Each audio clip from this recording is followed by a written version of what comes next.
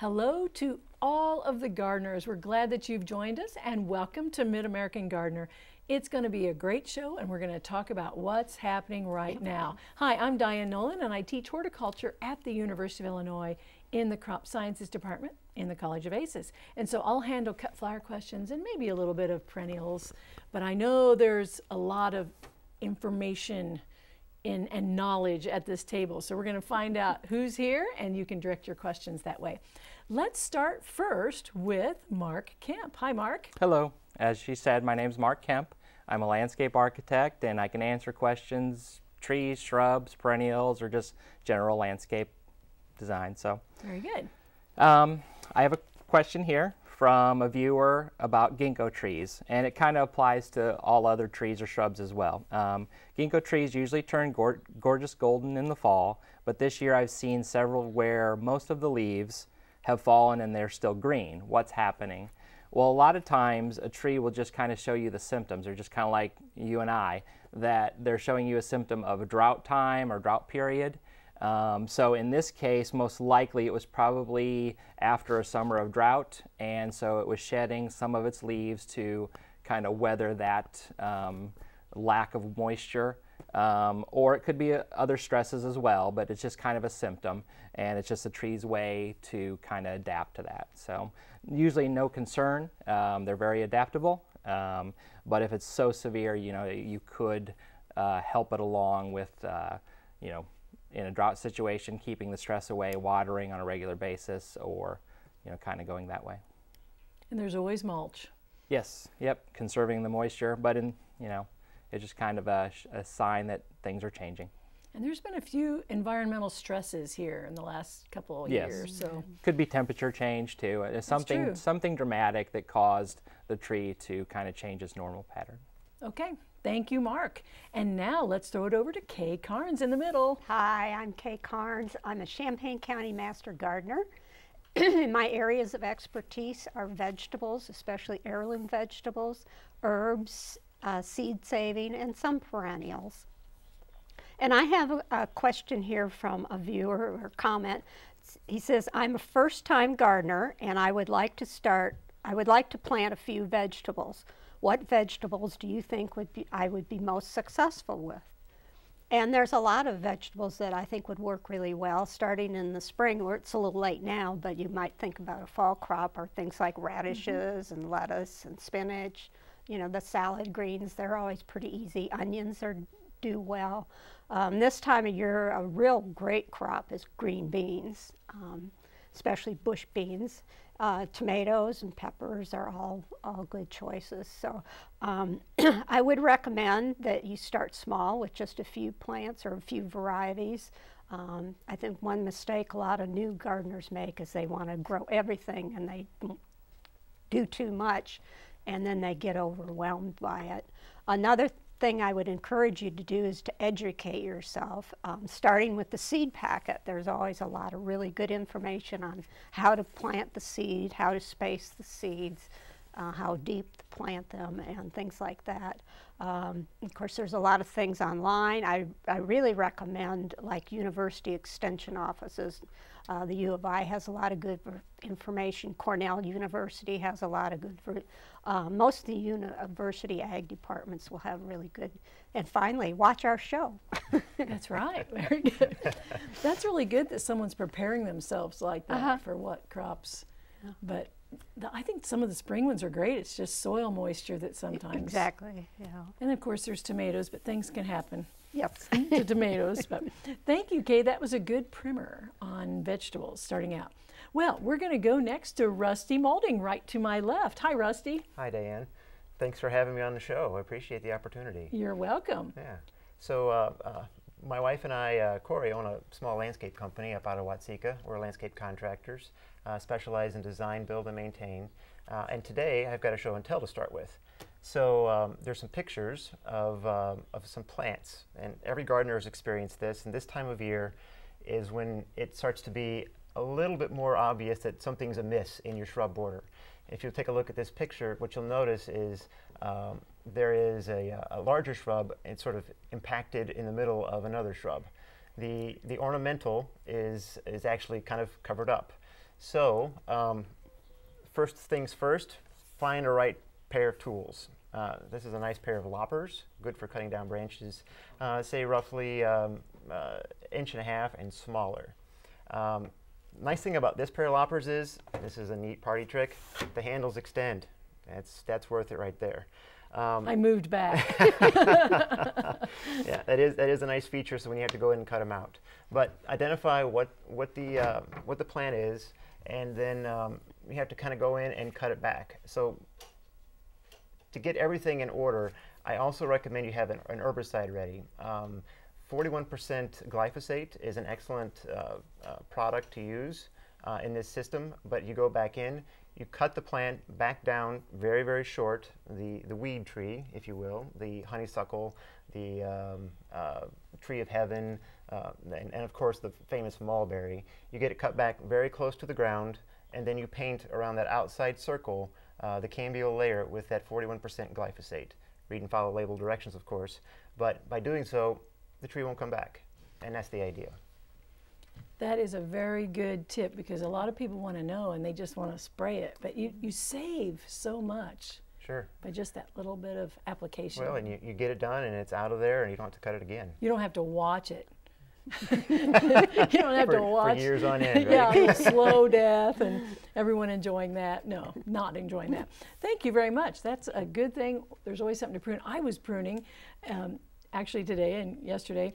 One thing about heat I've noticed, and then we're going to go to some more emails, you get things done really fast. You don't hang around. You know, you just get it done. You decide what you're going to do. It's too warm. You get in there, get it done, and then take a water break. Well, we don't have any phone calls, so we're hoping to encourage some of you to call in with that. And in the meantime, let's go to a special Did You Know?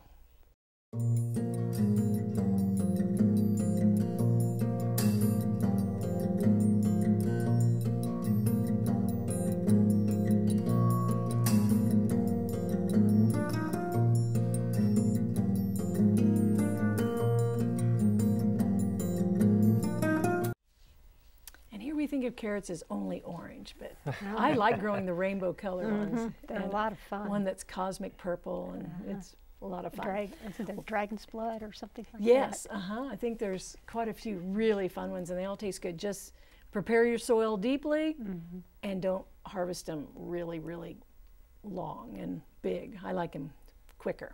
All right, let's go back to show and tells while we're waiting, or uh, emails while we're waiting for some phone calls. Okay. Mark, you're next. I have an email from a viewer uh, in the Chicago area, R. Hale, um, writes uh, that she's, she's curious on evergreen choice or something for winter interest that would survive um, a Chicago winter. Um, I think many times people kind of focus just on green, and there's varying colors of green. Uh, evergreen wise, you could go with like a false cypress. Uh, you can get a lot of yellow greens out of that. Um, boxwood would be a hardy plant. That's a common plant that you'll find. Um, then you could go dark green with uh, a holly. Um, and the holly then would introduce a berry as well. Uh, arborvitae would also give you yellow greens to a varying, uh, just a straight green. But you can also mix in other plants that have like a bark interest. Um, it might be a red stem dogwood or it might be a, a bark that peels. Um, so you can kind of play that way. And then you can also introduce a perennial that kind of, I, I, like to say, like, like a sedum. An autumn joy sedum stands up tall, and if you leave the head on it, then it'll, it'll hold snow, and it's that brown tan color mixed in with an evergreen next to it, and you'll get you know two interests throughout that season. So you play play them against each other, and I think you can have have a wide variety of interest. You're making me think of paperbark maple. Yeah, absolutely. paperbark paperbark maple is one of the best. I mean, it just, it just peels off, and that that deep maroon color it's and that tan. Beautiful. Yep. Well, we're going to go back to emails in just a moment, but we have some phone uh, calls. so let's excellent. go to those next. And we'll start with line one. And Jane has a question for us about Siberian iris. Hi, Jane. Hi.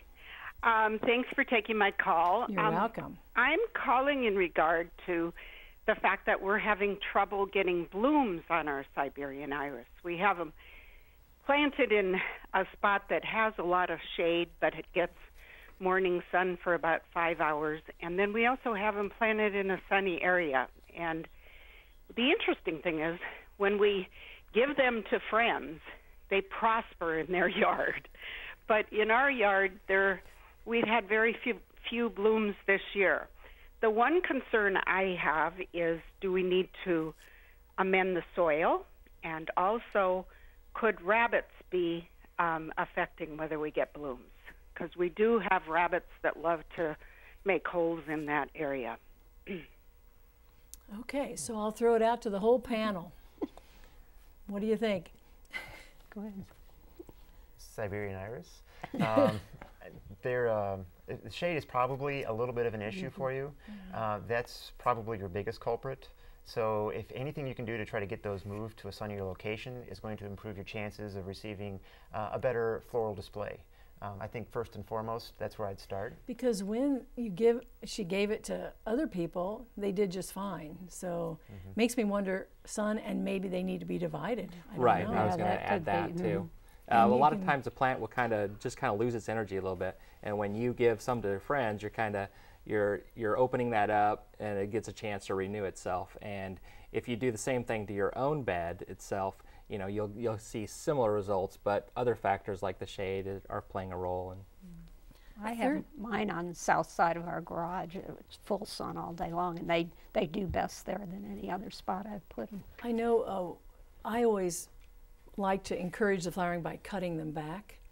And so now this winter I didn't get to it, but the snow just mounded the so- Mashed it. yeah, mashed it down, and it didn't need to be. But a lot of times when they stand up and they make a nice winter character, um, I will cut them back. Now I know that they work well because I got half of them done one time and I got sidetracked, and so I had really good flowers where I had cut them back, and the very, you know, half of the clump I had not cut them back, and they have to fight to get through. So you might want to think about cutting back more shade, dividing, you know, south side. and I would also add that you could rule out the rabbit. I mean, rabbit damage Yes, is going to be thank very you. obvious. Um, it's And going they're to so be, tall. you know, I've a- never had it's going to be severed, either. and you're going to see the actual injury. So it's not like a mystery. Yeah, I, I'm glad you said that because it's not it's not rabbits. Okay, thank you very much, Jane. And let's go on to line two. And Sherry has a question for us about pecans. Hi, Sherry. Hi. What's your question? Um, we're wanting to plant some pecan trees in central Illinois. And can you tell me if there's a better or worse variety? Oh, wow. Do you know, Rusty? Well, actually, um, I did some research on this. Um, uh, pecans actually like it moist. Um, they, it's a carya, and they do well in moist areas. Um, uh, but I don't believe that there are, well, I think there are some hardy, var- hardy varieties that will survive. They might not survive a winter like last year, but That's Yeah. true. you know, it's, Yeah, it's probably not necessarily hardy for our area, but it's hardy compared to each other. So I found one source for for a pecan tree um, here about two years ago. So it's it's kind of a challenging plant to find. I'd say look look at your local garden center. Um, ask them to help in your procuring the plant, uh, and they can also help guide you uh, to different uh, selections if they are available in the trade. That's kind of your biggest challenge. Yeah, so unless we come up with something, but your research will probably do just as well because we would be doing the same research for what is the hardiest, and we are at the northern We are. part Yeah. We are. of what's hardy. age. It's a, it's a great native tree though. Yeah, it is. Fantastic. If you can find the right spot in a moist area. Mm-hmm. Okay, well, thank you, Sherry. We were a little bit vague, but we don't want to give you a name, and that may not be the best one for you. Okay, let's go to line three, and Lynn has an ornamental pear question. Hello, Lynn. Hello. I enjoy your program so much, and I appreciate your taking my call. You're welcome. Last year, a terrible drought year, uh, I noticed that there were some brown leaves toward the top of my ornamental pear tree, and this year the tree is just full of these dark brown leaves. There's a lot of green leaves, and it seems to be living, but I'm wondering what I should do about this. I have two ornamental pear trees, mm-hmm. and the other one is just now beginning to show the same problem. and I don't know what to do with it. I don't know Okay. if there's something I can do to save the tree or. This is an epidemic this year. Yeah, it is. Yeah. It is. Uh, I'm going to just jump in and say fire blight, and then yep. if you want to comment on what you do about it, you guys jump in. But it's definitely fire blight. Uh, fire blight to control fire blight, um, probably the if you don't have much damage, uh, an easy way to do it is um, fire blight actually forms a, a shepherd's crook. So the end of it will kind of tip over, and then it dies back down the stem six, eight inches, uh, sometimes further. Go at least six, eight inches below that, and you can cut it out if you have minimal damage. Um, if you have a bigger tree, you're probably looking at, uh, and you want to save it or at least improve its health, you're probably looking at contacting um, a professional um, applicator to spray the tree with some sort of copper uh, related compound. And, and that will also help protect the tree. And doesn't that have to be done at a certain, like when the flower, It's when it's just starting to Very, flower? very critical periods of time. The And a homeowner can't do it. Yeah. So, one other thing about cutting, um, it really needs to be cleanliness. And so I always jump in and say you really have to almost after every cut. Yes, yes, Mm-hmm. Lysol, Or yeah, you spread it. dip. Yeah, just don't spread it by trying to take it out. But this is an epidemic this Yeah, year because is. we've had a moist spring. And, and last spring was too. And that's true. So it's double. Yeah. Wow. Okay, well, we're sorry to hear about that, Lynn, but thank you for your question. Let's do one more, and we're going to go to uh, line four with Kathy about her iris. Hi, Kathy. Hi, thank you for taking my call, and I, like the other lady, really enjoy your show. Thank Uh, you. I've, I've had a bed of irises for several years. They've been established, and this year they didn't come up, and there was a mole in the area, and I'm wondering if moles could eat what I call the roots of the iris. You had no, they're rhizomes. You had nothing? It just, no, uh, well, I didn't dig down. I don't think there was. I did in one area there wasn't. Or I wondered maybe if they froze out with the cold winter. Uh, they've been there at least uh, four to five years,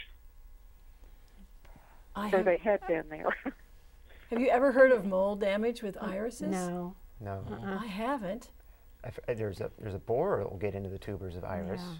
But, But- you usually not- see, But you can know, see you- the, it. Right. the tubers left. Right. And you know. irises are just the toughest thing. I They mean, they are are. hardy to many zones north, so it wouldn't be the winter. I thought you were going to say they were actually molding or that bacterial Yeah. soft rot. Right. But yeah, they the best thing to do would be to dig some up and kind of see what they look like, see if there is boreholes. Yeah. Um, Well, ideally, they shouldn't be that deep, right. planted that Shouldn't be deep no, deep. you anyway. should see you the rhizome see should the be top on of the, the, soil, and the roots are down in the soil. So if they were deep and you had to go for it, that may be why you don't find them. Could be. They may have rotted. I don't know, Yeah. but Could be. go for a treasure hunt. We had a wet, snow-covered winter. Yeah, that could be it. And then if you do find some, replant them with the rhizome on top, you know, let the roots get in there and cut it back about four or five inches to a fan so that it doesn't flop over and trim off any bad part of that rhizome or root. Um, and then try again and space them about six inches or even more. For long term, it could be a foot apart. It just looks ugly in the first couple of years. Okay, well, we're going to take uh, and do a few emails and then we'll come back to the phone lines. And Mark, since you did too, I'm going to skip right on over you and go to Kay next. Okay. Well, I have an email from Judy in Peoria, and she says that I've read that the flowers sold at the big box stores are genetically modified and are and contribute to the killing off of our bee population. Should we only grow plants from organic seeds? I don't want to be responsible for the demise of any bees. Um, you know, it, it- I would be careful about what I bought. I would, if you can get organic seeds, that's fine. But the old heirlooms um, or any open pollinated seed is, is just as well.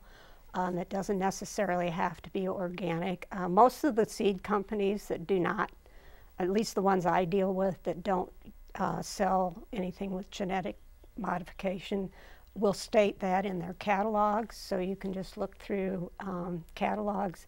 the other thing you might try doing is uh, planting things that the bees love and promote your bee population. Um, you want to give them water in the form of maybe a bird bath or a pan in the in the ground. Um, plant all kind. There's a lot of plants that bees just love: herbs, flowers, vegetables, even fruit trees.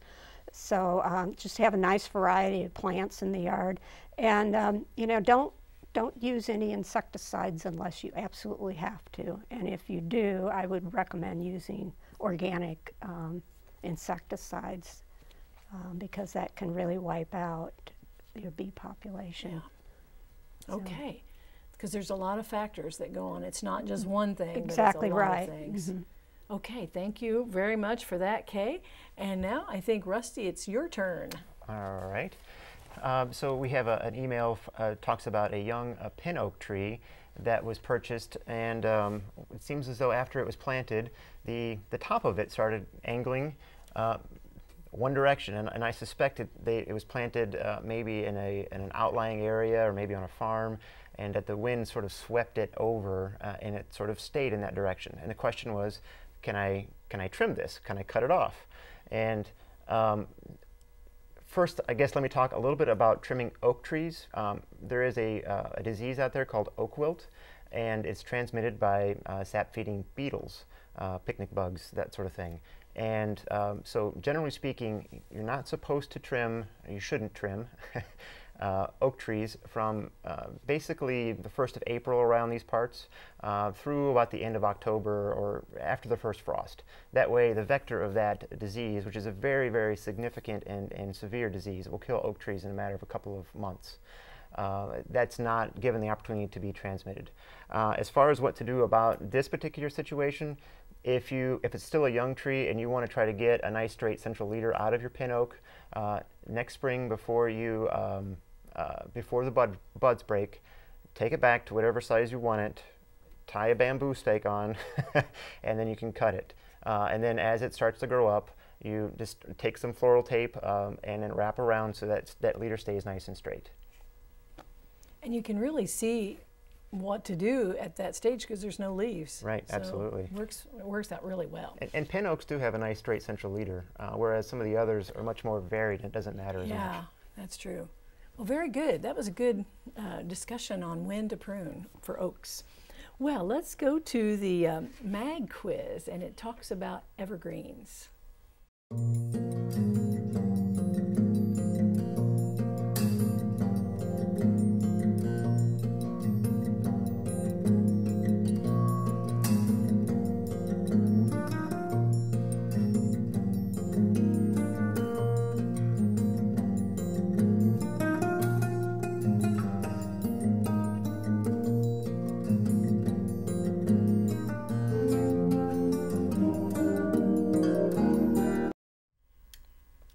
Hear the panelists saying, I think it's you. And, and, the question was you, the answer was you.